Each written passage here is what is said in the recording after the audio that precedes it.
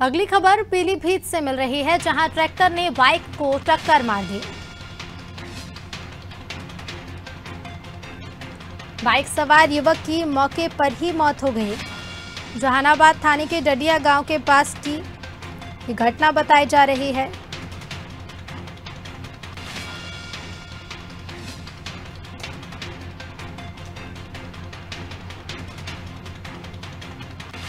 Tractor ने bike में टक्कर मारी। बाइक सवार युवक की मौके पर ही मौत हो गई।